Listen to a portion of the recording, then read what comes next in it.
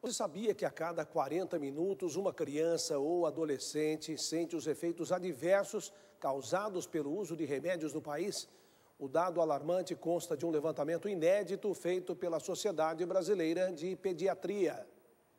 Os irmãos Murilo e Miguel adoram brincar, como toda criança. Os objetos coloridos chamam a atenção. E foi assim que Miguel, de 3 anos, deu um susto na mãe. Fui passar pomadinha no, no dedo dele do Miguel e esqueci, coloquei a pomada no painel ali.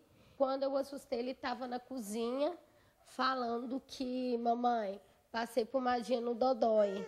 E quando eu fui ver, ele estava todo lambrecado da pomada.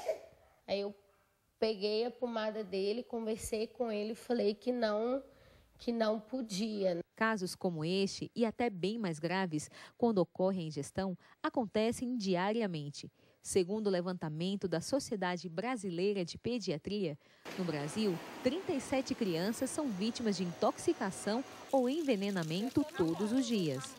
Em geral, quando toma medicação dos pais, então, é, antipertensivo, medicamentos calmantes e também é, agentes de limpezas domésticas. Os números são alarmantes e revelam a necessidade de cuidados redobrados, especialmente com crianças menores. Segundo o levantamento de todos os casos de intoxicação ocorridos entre 1999 e 2016, mais de 130 mil ocorreram com crianças de 1 a 4 anos de idade. Colocam na boca tudo que elas veem Pode ser algum material atrativo, tipo um comprimido colorido, elas acham que é uma bala. Elas gostam de experimentar, elas estão descobrindo o mundo. Então, nós temos que guardar essas medicações e, por isso, elas são mais susceptíveis. Ainda segundo o levantamento, o segundo grupo mais atingido vai de 14 a 19 anos, seguido do grupo de 5 a 9 anos. E, por fim, o de 10 a 14 anos.